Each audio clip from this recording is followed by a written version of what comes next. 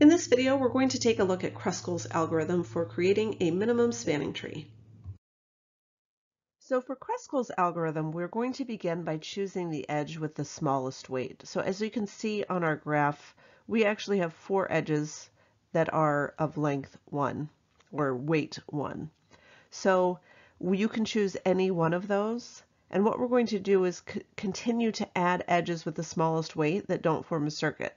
So when we did this with Prim, we were tied to having to have one vertex that we've already visited connecting to a vertex that we have not. In this case, uh, we are not bound by that. So for instance, if I want to choose BC, because it's a weight of 1, I can do that. And then if I also want to choose AD because it's a weight of 1, I can do that. And I'm going to continue to do this until I've reached all of the vertices. So for instance, here, to get to E, I'm going to use 1. And I'm also going to use this one so we can see that I've now connected all of the vertices and I have the least weight because I've chosen all of the vertices with the least weight.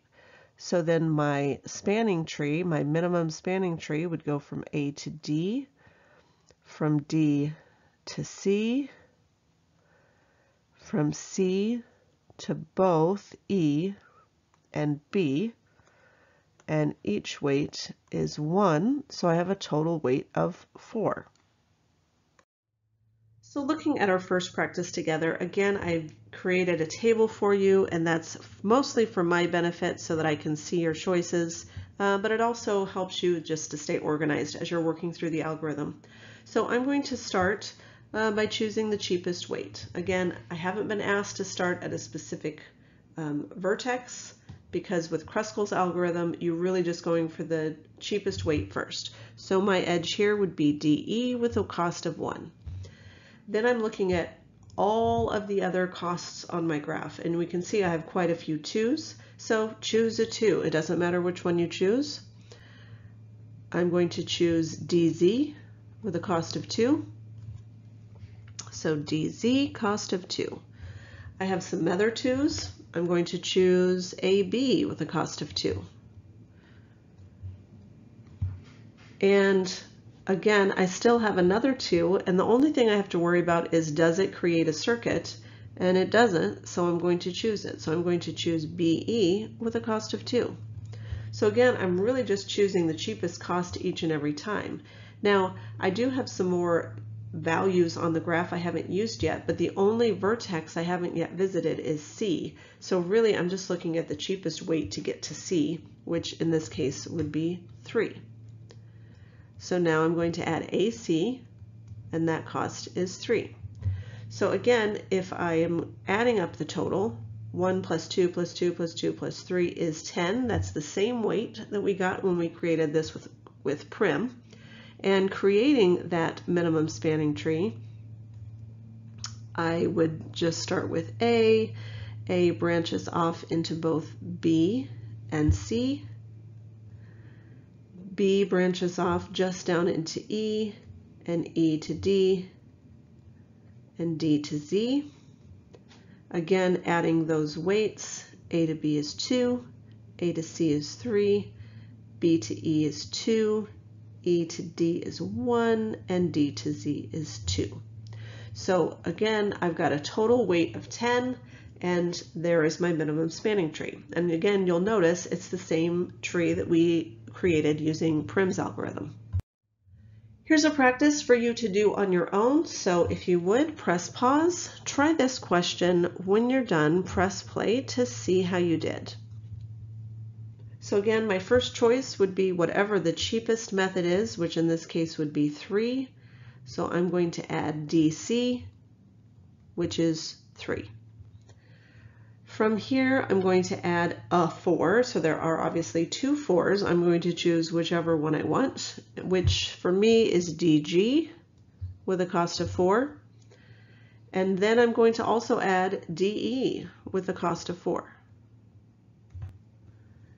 Now looking at the values on my graph, I do have a 6 here, but as you can see, this 6 isn't going to work because G and C are already um, part of my minimum spanning tree. So I am going to choose instead this 6, which is e to b with a cost of 6. Um, 7 seems to be the next lowest number, but again, 7's not going to work because D and B are both part of my graph already. Continuing up the ladder, I've got 10, so I'm going to use EF, which is 10. And then I'm looking for any way to get to A because A is the only vertex I have not yet visited. And so the cheapest way there is 12. So that's AF with a cost of 12. Again, adding that up, 22, 28, 32, 36, 39. So total cost of 39. And again, if I were to create my tree, you'd think I would have learned from the last video that I should give myself a little more room, but I didn't. So A to F, F to E, E branches off into B and D. B, oops, I did that wrong. I'm going to let D come straight down a little bit more to make it easier to add the rest.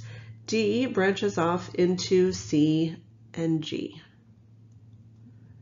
And then again, I would add those weights in um, to make my minimum spanning tree. So A to F is 12, F to E is 10, E to D is 4, E to B is 6, D to C is 3, and D to G is 4. Oops. 3 and 4. So again, total of 39. That was the same thing that we found using Prim. That's all I have for you for Discrete Math 2 Combinatorics. So up next, at least for my students, is Abstract Algebra.